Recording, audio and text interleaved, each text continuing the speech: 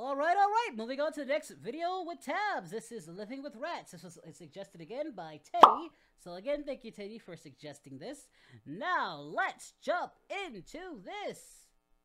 We all got some type of pest in our house, right? Nah, nah, nah. I have no Kinda. clue what you're talking about. Like, mother dick. Why is what mine even is that? in this Some kind of radioactive. Nope. Okay, listen. I'm talking regular pests. Uh-huh. The commoner's Pokemon, like cockroaches, Yeah. rats, Yeah. fleas, Yeah. your brother, Ah, hey, and hey. scorpions. Oh, hell no. Well, that's not the worst of it. These Wow. guys have a track record of showing up when you least expect it. spiders. Uh oh. And yeah. Hey, how you been, Poppy Eight Legs? Yeah, okay, that seems like a far-fetched reaction. But I actually have a fondness for spiders and like some blood-sucking mosquitoes I know. Cause those guys are useless, come on. On the contrary, I know a bunch of people who tend to overreact towards these lovely house guests. Like, where are your manners? Now you straight buggin'. If I see any cockroach or spider in my house, it's their house now. He can keep the car, the food, my PS4, my wife, and my Yeezys too. Yo, screw that. I'm burning the whole house down. I get it. As cute as these guys can be, it's not like the fuckos are paying for any rent either. Though in this video, we're just gonna be focusing on my experience with one type of vermin. Rats. Ew. Why them though? Because where I'm from, they're everywhere. Half our Hoo-hoo! city's population is made up of them. It's normal to have big booty rats with fitted Yankee caps and Tims and dragging pizzas down the stairs. Yeah, So I found myself York, spending the yeah. holidays with these rats. Not by choice, of course. One of these times was with my roommates. That's right, we got another roommate story. Real Wait. quick introduction if you haven't watched the previous roommate ah. videos. Oh. This is Bubbles. Comment down below if you want me to watch the previous videos. Hey! She could be a monk if she wanted to. This is Diva, the sassy teen girl you know from every high school. I would not even be surprised if this girl secretly featured in Ariana Grande's Thank You Next video. And finally, this is Megatron, the girl who's been done with everybody's shit the day she was born. so, it was Thanksgiving night, Definitely and my roommates mix. and I cooked more than enough food to feed a starving family of Matt Stonie. Let's see how the rats Competitive eater, by the way. After we all looked like we just ate at Grandma's house, we decided it was time to clean up. While that was happening, I noticed a chicken bone stuck in the vent. Well, okay, now I've seen all the shit. I went over to That take it out, but then right. suddenly the chicken bone started shaking. Hey guys, look at the twerking chicken bone. Nom, nom, nom. Oh my god, oh my god, oh my god. That's a mouse. Diva, the bathroom's open if you need it. Tabbes, I hate mice. Oh my god, get it away. Well, I don't want to move and my rats bed. are two it's different right next to the things, kitchen, but for whatever. God's sake. The chicken bone stopped rattling now, and I assumed it ran off because of Diva's outburst. I grabbed it, and it started shaking again, but this time I tugged back. This Hercules mouse started to resist. that so Rocky we played music? a game of tug of war. World Da, Star. da, da, This da, is one da, brawl motherfucking hood rat. I need some help. Tabbes. You sure Get do. that Hey, listen, Tabbes. I'm gonna go ahead and make a Go GoFundMe page. It's gonna be Tabbes. titled "Help this poor starving homeless girl fighting a mouse over a damn chicken bone because she really needs food that bad." Well, it didn't matter anyways. 'cause Tabbes. after Come on, three Tabbes. minutes, Get I that got me that bone. Victory! Yeah, Tabbes Got the victory! yeah. You kicked Mickey Mouse's abs. I'm Go seriously about the Tabbes! Go of that girl. Tabbes! Go Tabbes! Go Tabbes! Go. Tabbes! Another holiday I spent with mice was on Halloween of 20.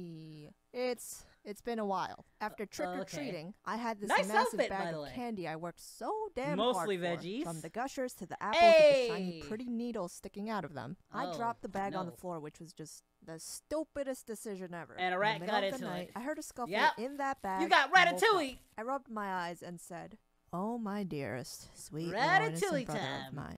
I can't even say that with a straight face. Bro, is that you? Are you swiping my goods again? Like she has a bad No relationship with her brother. response. Or a My eyes soon adjusted to the darkness, and I saw the bag shuffling back and forth.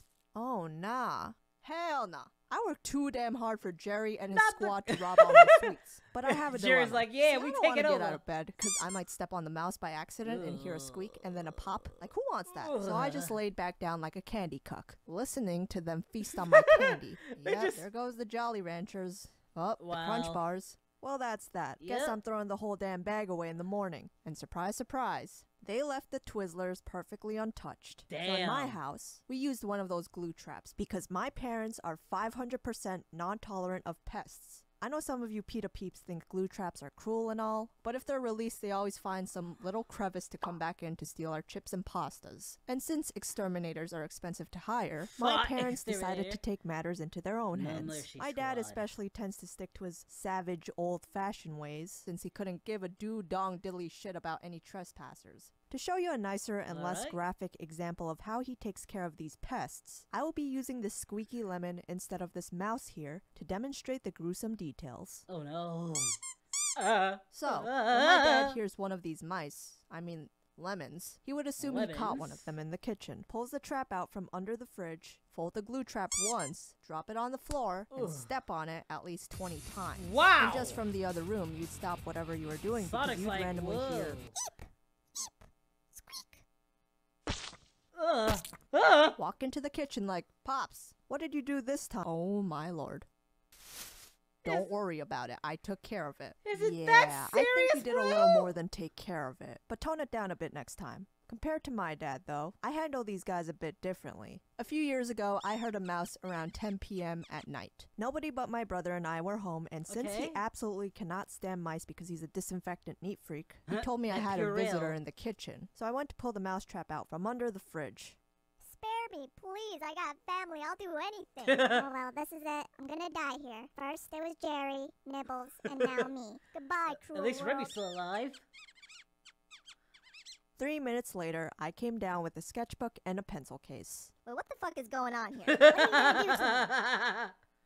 what are you gonna do? Mm-hmm. You gonna read to him? Mhm. You gonna sketch him? Mm. Alexa, play music for focus. Now playing music for focus on Spotify. What the fudge? You're gonna draw? That's oh okay.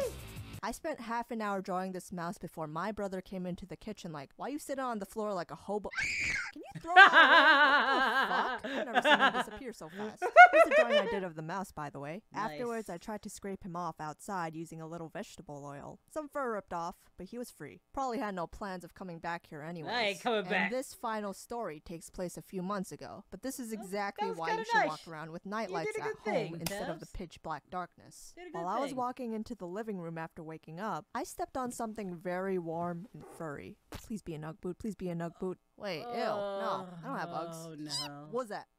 God damn it, it's a rat. You know that chilly tingling feeling that starts from your toes to your head? And not the good kind? Yeah. I felt that. Listen, I got Yeah. nothing against mice. I think there's some fine looking animals besides the tails and nasty infections they can spread around. You could say they're the equivalent to furry cockroaches. I've come to uh, terms that I'll be living with these guys for the rest of my Crazy life. and lady. that's fine as long as they don't touch the bed.